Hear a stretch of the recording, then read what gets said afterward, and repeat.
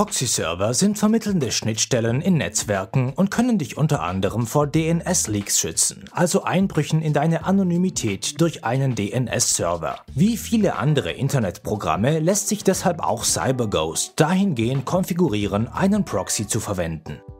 Starte CyberGhost VPN und klicke auf das Zahnradsymbol in der oberen rechten Ecke des Programmfensters, um die Client-Einstellungen aufzurufen. Im Einstellungsdialog klickst du zunächst auf Erweiterte Einstellungen anzeigen und aktivierst dann das Register Proxy.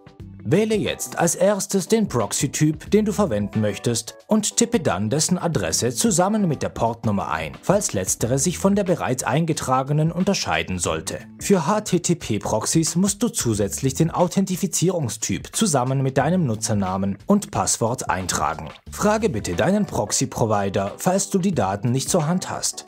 Verlasse anschließend das Fenster, in dem du deine Änderungen mit einem Klick auf OK bestätigst. Beachte bitte, dass die Verwendung eines Proxys deine Surfgeschwindigkeit drastisch reduzieren kann.